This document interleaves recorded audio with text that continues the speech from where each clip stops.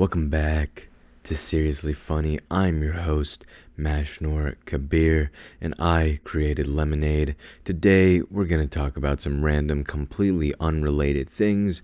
I'm waiting a bit for school to calm down so I can do the research and write notes for an episode on grief, on sleep, other topics that are more uh, long form, similar to the COVID episode. Today it's snowing and I'm wrapped up in a blanket. I usually don't do this, but if you hear rustling of a blanket, that is because I am I am currently in a cocoon. I am a caterpillar going into metamorphosis, and once the snow stops or once this podcast episode is over, I will be emerging into a full butterfly. It's going to be incredible. Anyways, for today, we're going to talk about again a bunch of dumb stuff. So, first of all, complaining. That's what we got on the list here. So, we've all probably complained before.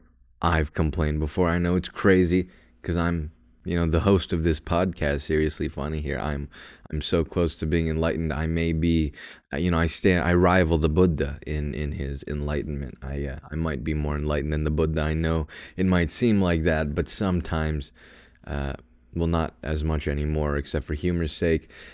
Before in my life, I used to complain. I was also human once. That's a joke. I sound so pretentious. I had a conversation about that with a with a buddy of mine recently. It was a great, good conversation.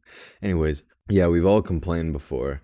Uh, but a few years ago, uh, I thought about it. I really thought like, all right, I'm complaining about these things. Really, it was a video game. I was playing Titanfall 2, and I was complaining about all these really stupid things. And I, I really just thought about complaining, just the idea of complaining about things, uh, complaining about food, complaining about this, complaining about that and I realized it made absolutely no sense whatsoever. Like for example, the the video game.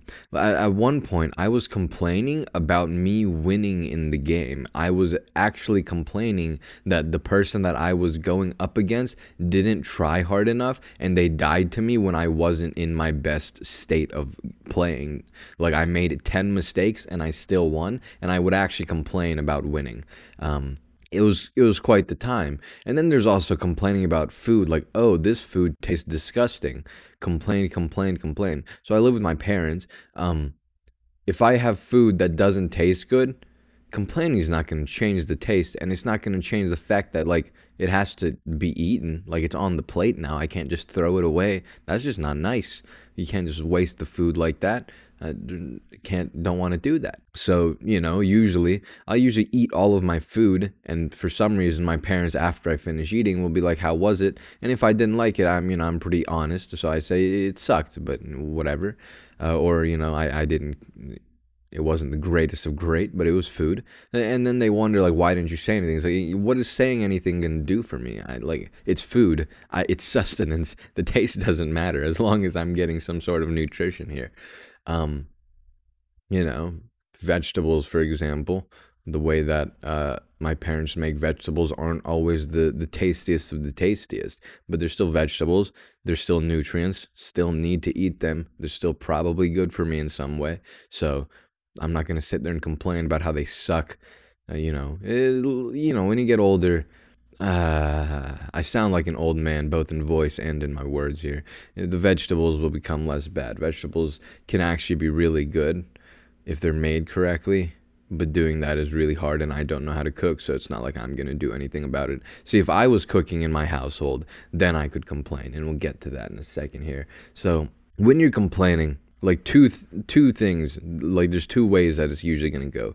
Either you don't care enough about what you're complaining about to change it so it doesn't matter. Like if i'm playing a game and there's a bug in the game and i'm complaining about that bug like am i actually going to go learn how to code go apply for a job at the company and fix the bug? No i'm not going to do that. Why am i wasting my breath complaining? And then the second possibility is that you can't like plausibly speaking change it. Like you can't do anything. So same with the bug in the game. Like for me to learn coding, become a game developer and then go work for a company and then fix that one specific bug, that's going that's a that's probably not going to happen. That's just not realistic. So why am I wasting my breath? Like I don't understand. Why would I do that? And I realized how dumb it was to complain. Like I was literally wasting my breath and it got me nothing. Now, is it that I never complain now?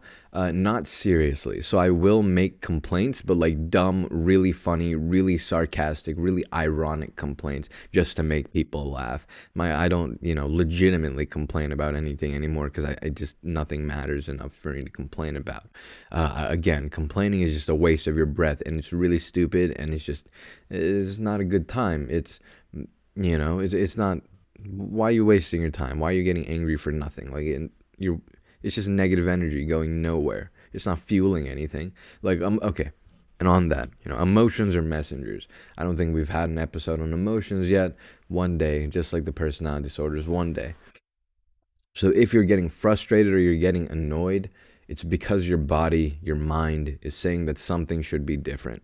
Um, you know and, and that's what emotions are they're just trying to tell you something so your anger or, or your frustration or your annoyance they're just trying to say like hey this isn't cool and so you know this can be a really strong thing you know martin luther king jr he was frustrated but he didn't just go home sit on the couch and complain and say ah this sucks f in america what are you doing? No, he went out and he did something. And I always encourage people to do things for what they care about. That's important. But complaining especially when you're not going to do anything to change something is just i think i you know like i said uh, earlier it's just negative energy that isn't fueling anything and that's not good. It's going to affect your health literally speaking. Is, is going you know that anger that frustration if it has no place to go and if it's unwarranted and and that's usually why it doesn't go anywhere uh, it's going to harm your body and it's going to harm your mind. And there's a lot of evidence for that. I'm not just pulling that out of my balls. So, yeah. So, yeah, it's completely fine to be frustrated. Um, but sometimes you just need to notice that frustration. And before you say, oh, this is horribly disgusting. What a horrible game mechanic. What is, why does this even exist? Why does Wraith just disappear in the game? If you play Apex Legends, you know that, uh, that, that reference there.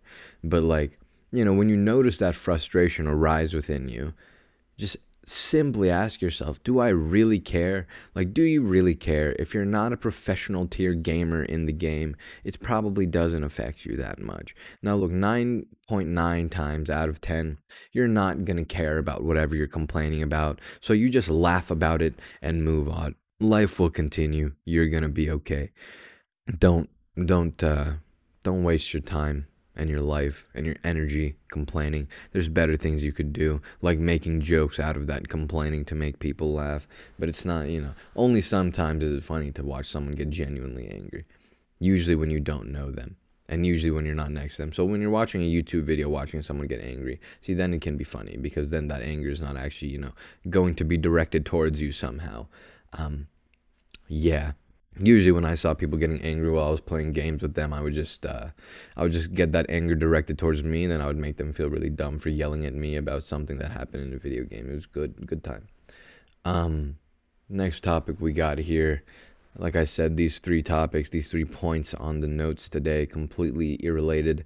Um, but this uh, this topic is about lying to yourself. I think I've talked about lying yeah, I think I've talked about lying before in an episode, probably in the three tips for successful relationships. I said lying is absolutely garbage and I've never seen it work. Uh, I, I don't think lying is going to work most of the time. Um, however, sometimes I do lie, but only to myself. The only person I will lie to is myself. And the reason I do this is usually to keep me going. So, you know, before I continue, I want to share a story of the Buddha and then continue. The link to the original video that I saw this uh, this story on is going to be linked uh, in the description. The channel was Dare to Do Motivation, and I think the video was called um, uh, like it was like Buddha story, the time when Buddha was tired, uh, or something. But yeah, anyways, I'm gonna paraphrase that story here. Once Buddha was traveling with his disciple Ananda. They were traveling to a village, but they were both old and tired, because that's what happens when you're old. Thinking they may not reach the town, they thought they may have to stay in the forest. Uh, they came across an old man, and Ananda said, asked that man, Hey, how far is the town? The old man says, Only two more miles, two more miles. Uh, the old man smiles, the Buddha smiles, and they go to and they go two more miles. And then after going two more miles, they haven't reached the town yet, but they came across an old woman. And then, you know, Ananda asked her, you know, how far is the town? The old woman says, only two more miles. You're there. You're basically there. You know, you're right there. The woman laughs, Buddha laughs, and Ananda wondered, you know, why were they laughing? And so after going two more miles and not finding the village, Ananda became quite frustrated and tired. Plopping down, he says he's done. I guess this goes back to the complaining thing that we were just talking about. Um, uh, but he was curious. His curiosity was piqued. And so he asked the Buddha, Buddha, why did you laugh? Why did you smile at the first man? And why did you laugh with the second woman? And the Buddha said that himself and those two people were of the same profession, the same work the profession of encouragement, of pushing them two more miles. Buddha said he's been to the town and he knew how far it was, but he understood their encouragement and then pushed them four more miles. You know, it got them to go just that much closer to their goal. And so even tomorrow, uh, they'd be closer and it'd be it'd take less time for them to get where they were going. But you know, but Buddha uh, allowed Ananda to, to stay down and said, you know, they can rest for now and, and get there tomorrow. And, and yeah, you know, this is the moral of the story. Encouragement and, and some, uh, some, some, you know, white, uh, some unharmful lies. Um, encouraging, encouraging words. I think lying for encouragement to other people is, is generally wrong. So in this situation, although I'm trying to prove a point, um, you know, I'm not going to say just two more miles. I'm going to say, oh, it's not that far. Uh, if I don't think it's that far, maybe it is that far. I don't know. That's subjective. So you know, so lying is uh, lying can be subjective sometimes, which is a complicated topic. Sometimes you can say someone to something that you believe that you understand to be true. Someone else might think it was completely false. In which case, you're in a you're in a little bit of an impasse there. Um, but yeah. Anyways, Similarly to this story, sometimes uh, more so before a microscopic non-living organism decided to invade the planet, I would go running. I went, I, I ran outside every now and then. Um, and when I ran, sometimes I would say to myself, you know, after I get to that mailbox, I'll stop running and, you know, start walking. After I get to that car, I'll stop running, I'll start walking. Uh, and, you know, I didn't stop after I got to the mailbox, and although my lungs hated me for it, I ran more. I got some more. I got some more running in there, uh, some more good old fashioned cardio. Back when uh, I would run every like seven months, once a month in the morning.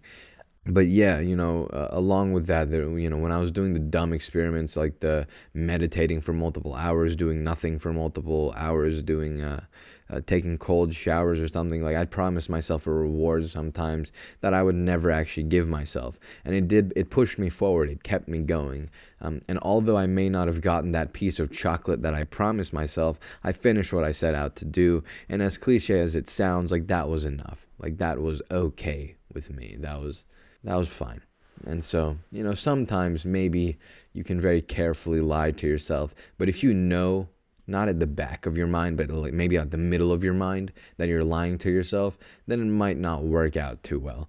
Um, because your brain will secretly just be like, whatever, it's not worth it.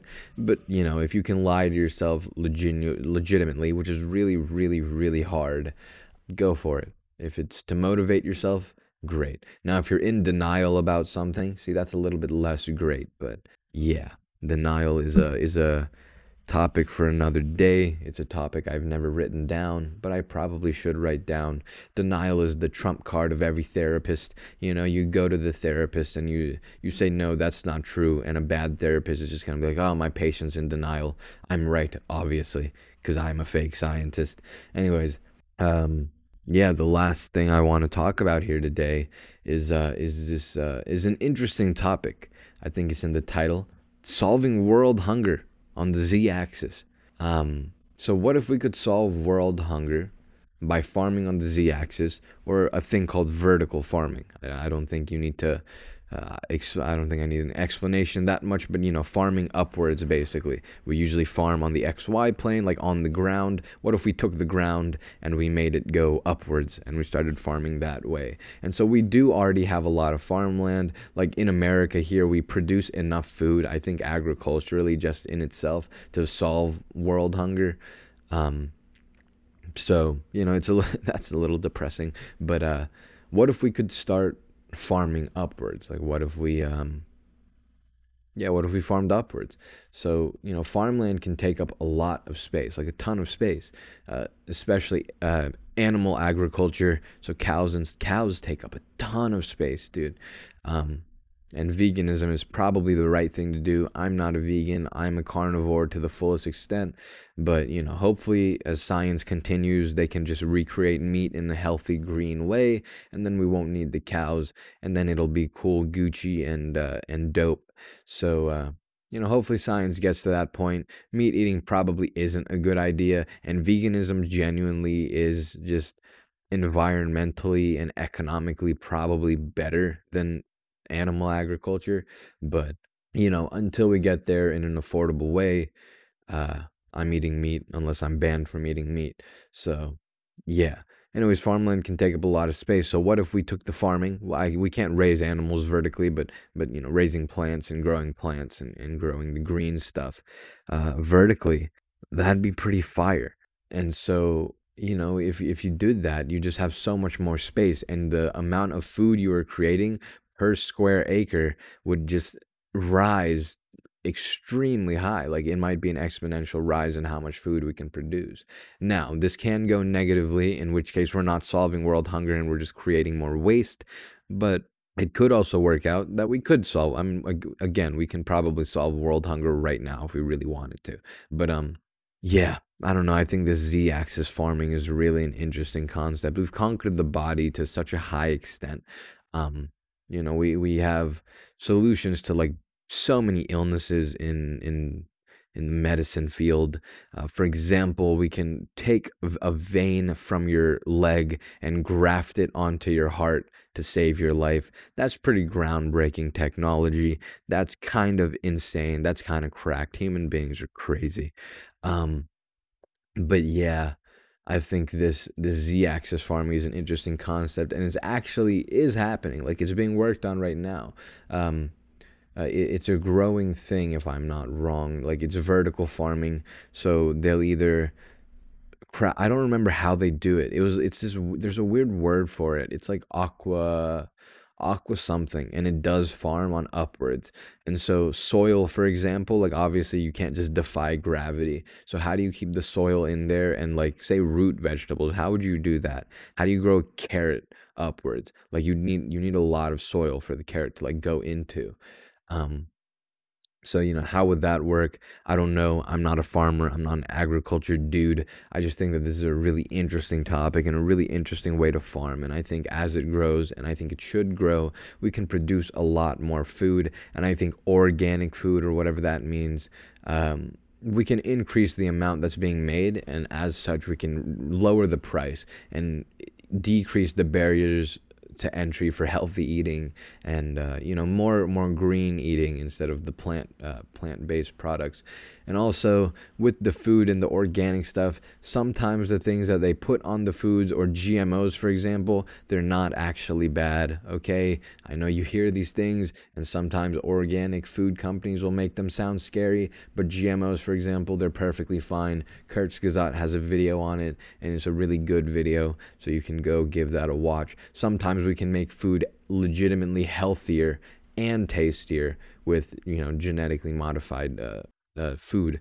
So uh, it, it works out a lot of the time, and and we usually know what we're doing with uh, with science. Yeah.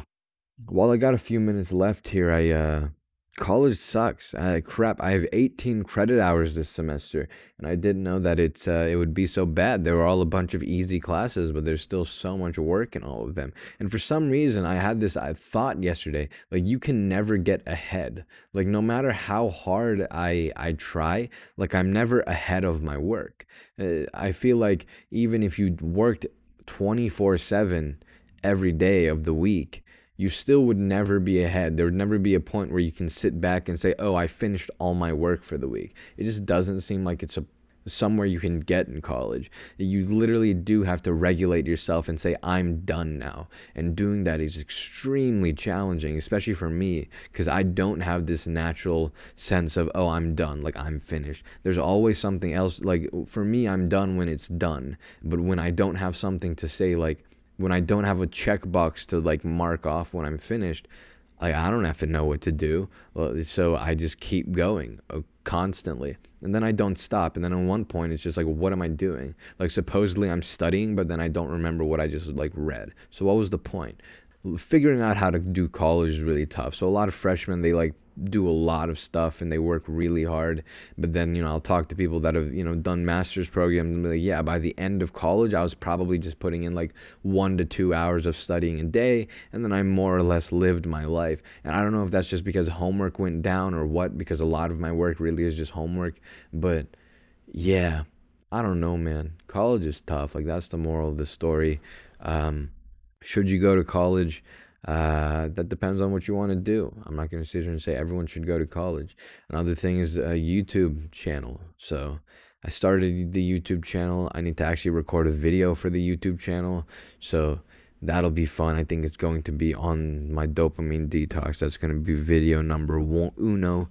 Uh, so, you know, if you're interested in following me in, in my other endeavors on the internet, then, you know, Mashnoor Kabir on YouTube uh, yeah, it'll be great. Uh, hopefully, uh, I'll have a video on sleep in like a few weeks. Whenever I do that, yeah, it's a good time. Anyways, college is hard. That's the more of the story.